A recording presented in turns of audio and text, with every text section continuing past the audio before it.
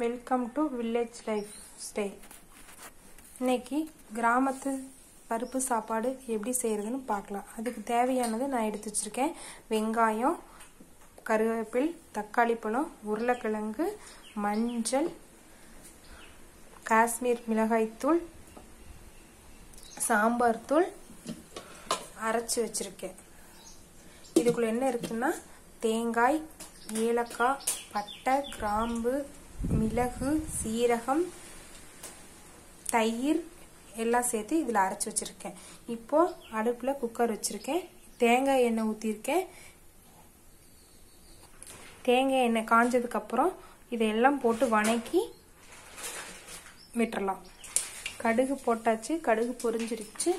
நம்ம வெங்காயம் வெங்காயம் போட்டுக்கலாம்.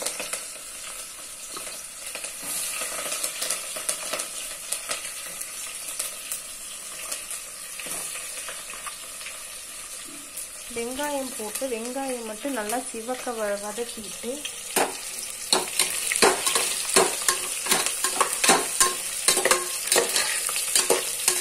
வெங்காயத்தை நல்லா சிவக்க வதக்கணும். வதக்கினதுக்கப்புறம் தக்காளி உருளைக்கிழங்கு இந்த அரைச்சி வச்ச மசாலா எல்லாம் போட்டு மிளகாத்தூள் சாம்பார் தூள் எல்லாம் போட்டு பச்சை வாசனை போகிற வரைக்கும் நல்லா வதக்கிட்டு அதுக்கப்புறம் தண்ணி ஊற்றி அரிசி போட்டு வீட்டு க்ளோஸ் பண்ணிடலாம்.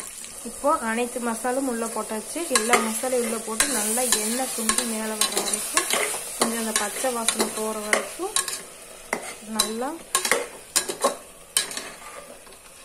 வணக்கிக்குவாங்க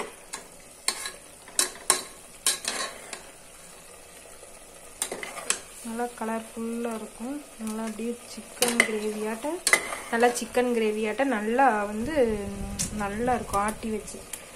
அதாவது செலவாட்ட வறுத்து அரைச்சி வச்ச அரைச்சி செய்கிற பருப்பு சாப்பாடுனே வச்சுக்கோங்களேன் செம்ம டேஸ்ட் கொடுக்கும்.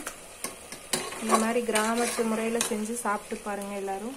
சாப்பிட்டு கீழே கமெண்ட்லெல்லாம் எப்படி இருக்குன்னு சொல்லுங்க. இந்த மாதிரி நல்லா கொதி வந்ததோடனே மூடி போட்டு மூணு விசில் விட்டிங்கன்னா கரெக்டாக இருக்கும். பருப்பு சாப்பாடு ரெடி போல போல போல போலன்னு. அரைச்சி விட்டு பருத்த சாப்பாடு.